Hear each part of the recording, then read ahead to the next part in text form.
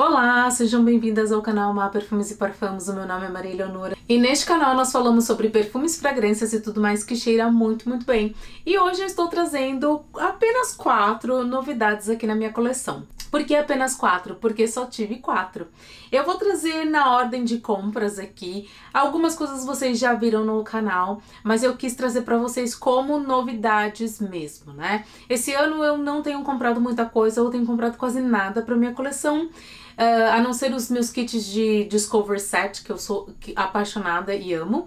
Então, eu resolvi trazer estes, essas novidades. Tem outra coisa, gente, vocês sabem que eu sou péssima em trazer as minhas percepções. Eu consigo trazer as novidades, mas depois eu, eu esqueço de trazer as percepções e o perfume vai acontecendo no canal. Enfim, eu quis trazer isso aqui para ter certeza que eu ia trazer as novidades da minha coleção. Vamos lá? Eu já tô até com um uh, deles aqui. O primeiro que eu comprei nesse, nesses quatro aqui novinhos foram, foi o MAC Turquatic. MAC Turquatic. Este daqui da MAC, opa, da MAC, da MAC de cosméticos mesmo, de maquiagem, tá? E aqui no fragrante que a gente tem notas de notas aquáticas, lótus, limão de amalfi, cedro de Virgínia, anemone e raiz de oures. Lembrando que a raiz de oures ela tem um cheirinho, ela é prima da íris, né? Irmã, na verdade, da íris. Então, esse perfume ele é um aquático floral, tá? E você vai sentir muito uma nota aquática, para mim, marinha, tá? Ele não tem aquele aquela pegada fundo do mar, mas ele tem uma pegada água salgada para mim na minha pele, que eu particularmente amo muito, tá? E ele não é um perfume levinho, refinado. Não, ele vem com todas as notas, notas dele bem gorda, bem você tá sentindo bastante, sabe, na sua pele. O que mais me encanta, óbvio, além dessa fragrância, do cheiro da fragrância, o que mais me encanta é que isso daqui é um perfume de verão, que tem uma duração excelente na minha pele, excelente na minha pele. Ele vai ali na família do Aqua de Joia, ele vai ali na família desses aquáticos com, com cheirinho de sal, mas eles todos vão embora muito rápido, né? E esse daqui eu acho que por conta dele ser mais parrudão, né, ter essas notas mais mais vibrantes, mais intensas, ele fica mais. Isso sou eu achando, tá? Então, eu tenho amado esse perfume. O que que eu sinto aqui? Esse aquático, como eu disse para vocês, é para mim uma nota de água de mar, água de sal, até com um tequinhozinho, zico, zico de alga, tá? Mas não é muito não, não se assustem. Se você gosta dessa pegada salgada ou água marinha, você vai amar isso daqui. O próximo que vem pra mim, o próximo acorde, é realmente o acorde floral. E daí eu sinto bastante um Uh, eu sinto bastante essa flor de lótus, mas ela não vem com a parte aquática dela. Ela vem com a parte floral, como se você tivesse pego uma flor de lótus e assim amplificado gigantescamente o cheirinho, porque o cheiro de flor de lótus é muito delicado, é muito levinho, e o floral que eu sinto aqui não é um floral muito levinho, delicado, ele vem desde o início já, já te levando no caminho floral, tá? Então, e você pegou e amplificou pra caramba esse Lotus. Se me falassem que tem peônia aqui, eu super iria acreditar. Porque eu sinto também uma pegada da, de uma peônia bem suculenta, bem gorda, bem fresca. Uma sensação de limpeza, de limpinho, como se você tivesse é, tomando uma. É como se. Ok, vamos lá, vamos, vamos viajar comigo. Como se você estivesse numa cachoeira, então é aquela água geladinha de cachoeira. E nessa cachoeira vem metade da água do mar e metade de uma água é, de um rio ou de um lago. E, e essa água é perfumada com flores. É isso, é isso daqui esse perfume. Exatamente, exatamente. É uma delícia, você vai sentir uma pegadinha levecissimamente atocada, é, mas é uma atocada de um limpinho ali, de 0 a 10, meio, meio. Eu não uso atalcados no verão e eu usei bastante esse daqui no meu verão. E eu fiquei apaixonada. Apaixonada, estou apaixonada.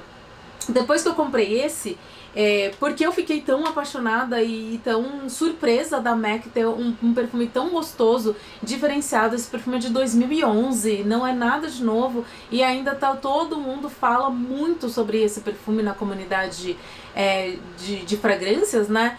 Eu falei, deixa eu ver o que mais que a MAC tem, né? É, porque a MAC tem acho que mais dois perfumes. E eu gostei muito dos outros dois, muito, muito mesmo. Então não se surpreendam se os outros perfumes da MAC aparecerem aqui na minha coleção, porque eu amei esse perfume e a MAC vai, a MAC vai, vai entrar mais pra coleção, sim. O próximo que a gente tem aqui, eu fui na Sephora, ganhei um, um, um gift card da Sephora de presente de aniversário. Eu falei, é óbvio que isso daqui vai virar perfume, né? Mas eu ainda não sabia bem qual perfume que seria. Eu estava muito de olho no Dona Born Roma, Valentino Dona Born Roma Green Extravaganza. Eu já tinha experimentado ele na pele, tinha experimentado ali na, na fita olfativa e eu achei que seria muito ele. E eu descobri uma coisa que eu precisei assumir pra mim. Eu não gosto desta coleção Dona in Roma. Não é que eu não gosto.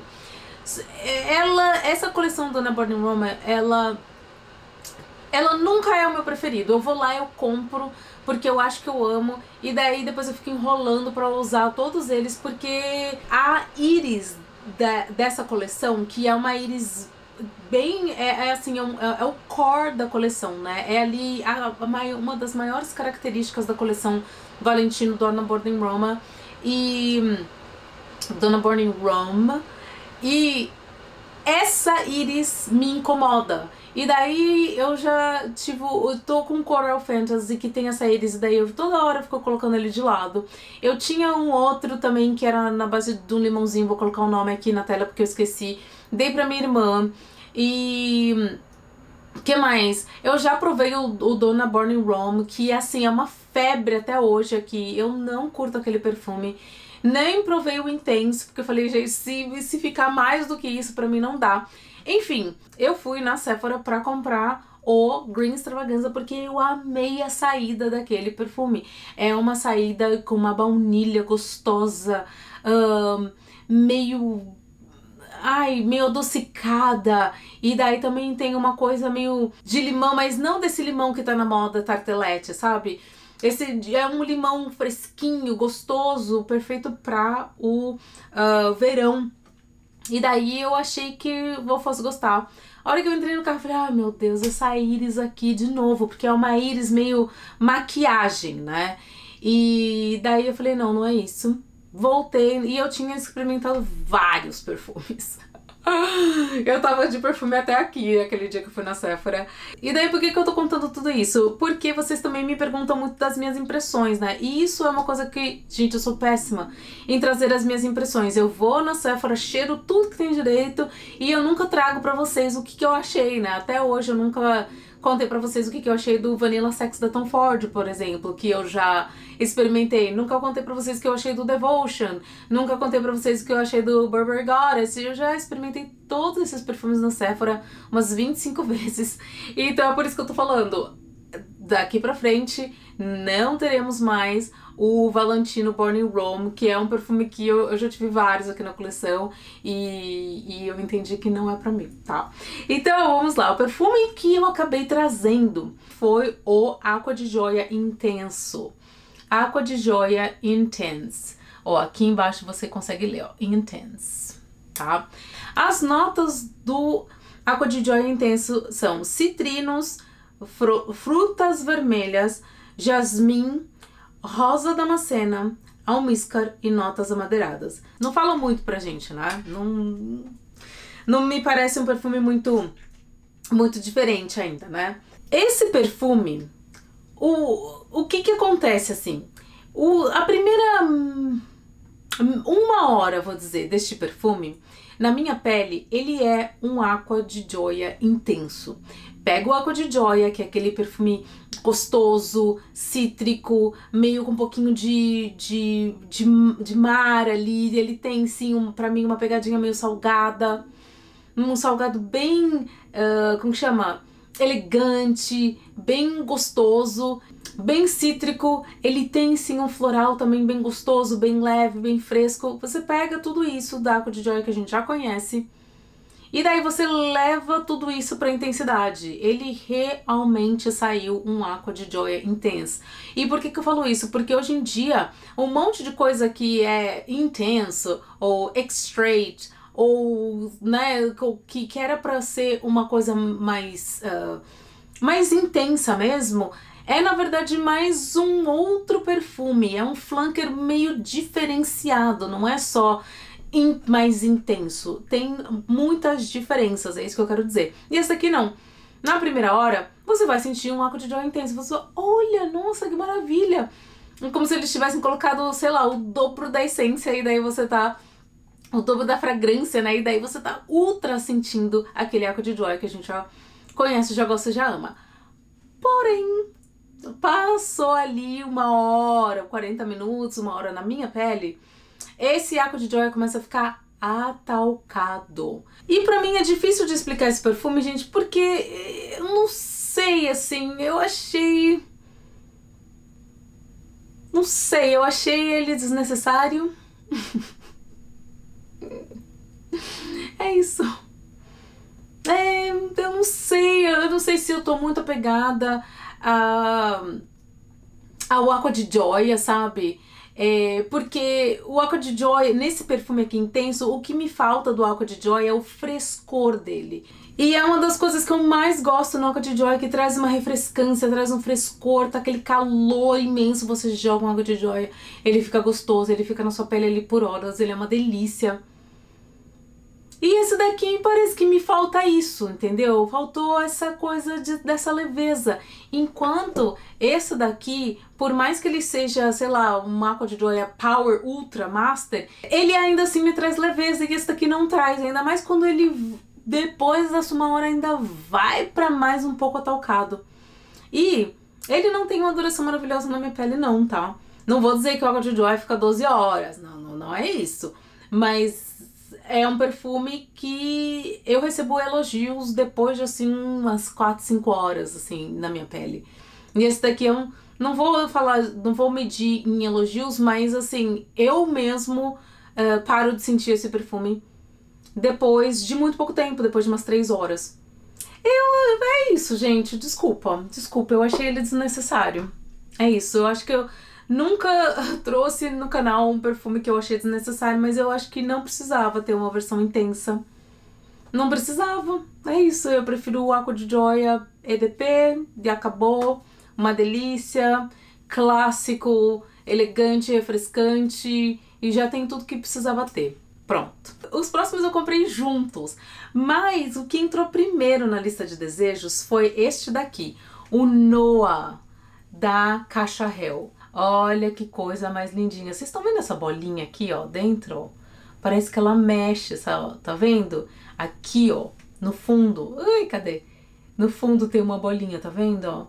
Coisa mais linda, olha essa bolinha aqui, gente. E eu comprei ele, acho que de 50ml. Tinha de 30, tinha de 50, tinha de 100. E eu achei muito que eu ia gostar dele, então eu acabei de comprando já de 50ml. Esse perfume aqui, Antes de, com, de, de ir para as notas, eu quero estressar ou chamar a atenção que ele é um perfume de 1998. E ele tem um perfil de 1998, tá? Então eu não quero que vocês imaginem essa nota, essas notas como se fosse um perfume que foi lançado ano passado ou no começo desse ano, tá bom? Vamos lá. Temos de topo Almescar branco, peônia, frésia, você vai sentir essa frésia, ela vai vir atalcadinha, ela vai vir em 1998. Notas verdes, pêssego e ameixa.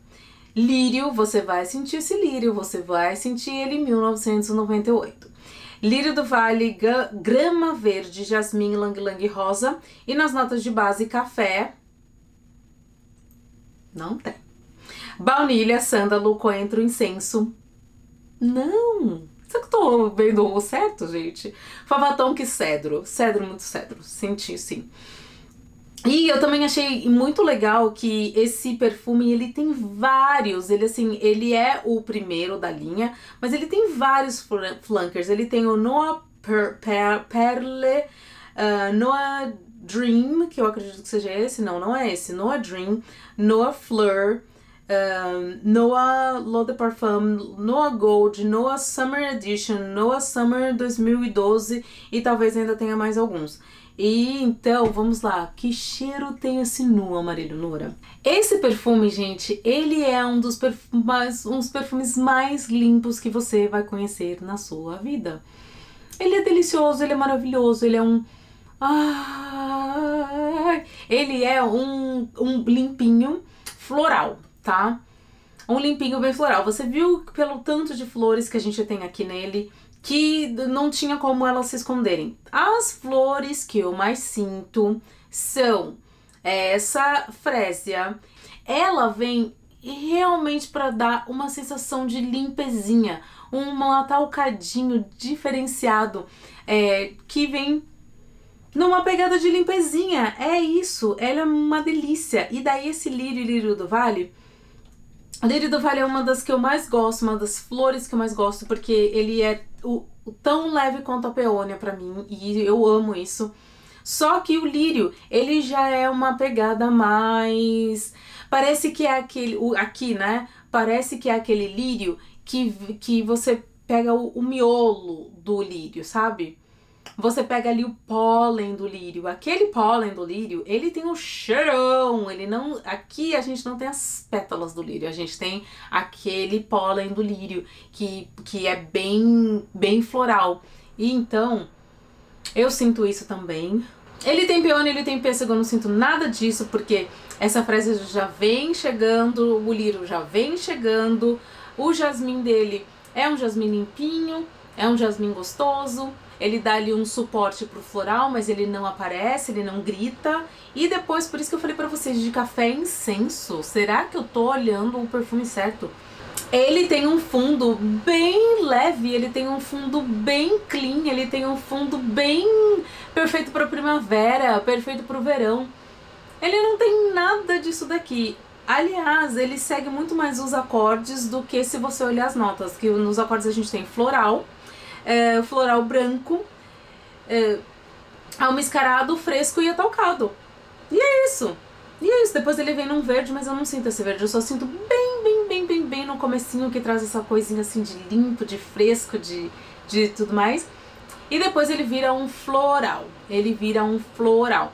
Ele ainda vai ficar um floral leve, um floral elegante, um floral limpinho. Isso daqui ele é perfeito para você ir trabalhar. Ele é perfeito para você ir num batizado. Ele é perfeito para você usar em ocasiões onde você quer estar cheirosa. Você vai receber elogios com ele, só que você não vai dominar o lugar. Você é, não vai não vai ser um perfume mal educado, sabe? E ele também vai ser um perfume diferente do que todo mundo está usando, porque lembra que ele tem aquele perfil de dali dos anos 2000. E por que, que eu comprei esse perfume e o próximo? Porque eu notei que eu gosto muito daquele tipo de limpo. Porque hoje em dia os tipos de limpo estão todos com o mesmo cheiro, né? Aquele almíscar adocicado. E eu tô meio cansada desse perfil de clean, né? De perfume limpo assim. Então é, eu resolvi investir ali nos, nos 2.998 e eu não me arrependi, gente. Isso daqui é lindo, lindo, lindo, lindo.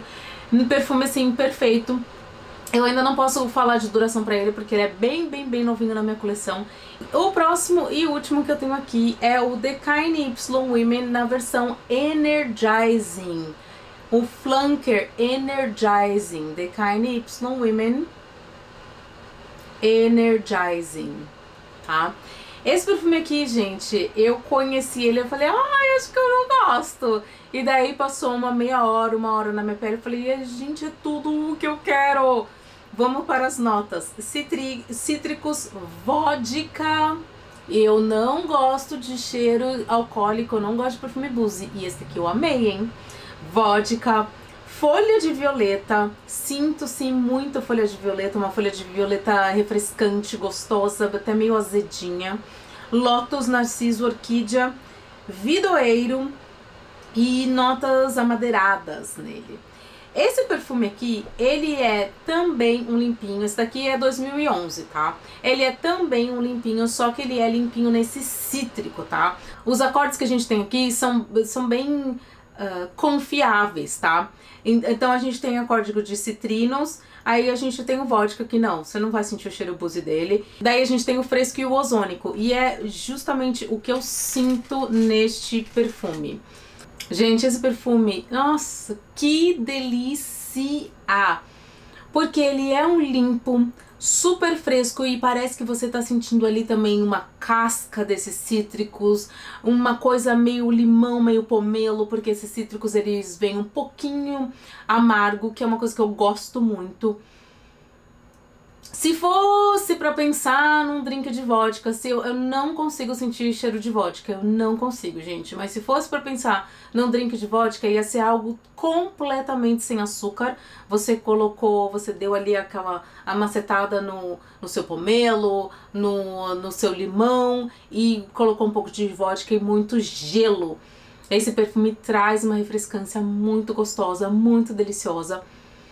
E daí, junto com esses cítricos que vão o caminho inteiro, o outro perfume ficou começou limpo e virou um atalcado. Esse daqui ele vai ficar um limpo cítrico para um limpo cítrico. É isso. Esses cítricos que começaram com ele vão o tempo todo. Ele vai entrar nessa pegadinha dessa violeta, mas violeta para mim é uma coisa muito levinha, né? Então, ela não vai tirar muito desse cítrico, ela vai dar um pouquinho mais de interesse para você não ficar cheirando aquela coisa só cítrica. E ele também pega para mim um, um, quase uma pegada meio poderia ser um, o início de um shampoo. Ele não tem um cheirão de shampoo, não parece que você se perfumou com o com o seu, com o seu shampoo, é, mas ele tem uma pegadinha ali no, nos limpos, na família dos limpos, ele começa meio que andar para um shampoo. Então ele fica um limpo que é ultra mega master cítrico.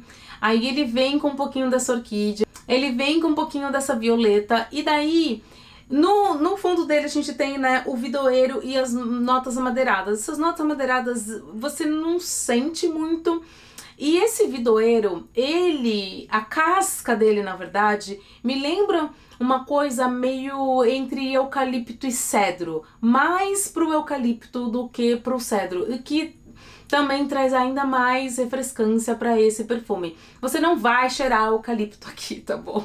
Você não vai. Mas não vai ficar com cheiro de, de, de pinho, é isso que eu tô falando mas ele vai trazer uma, uma madeira como se fosse uma madeira fresh, uma madeira fresca. Eu fiquei apaixonada por esse perfume, apaixonada.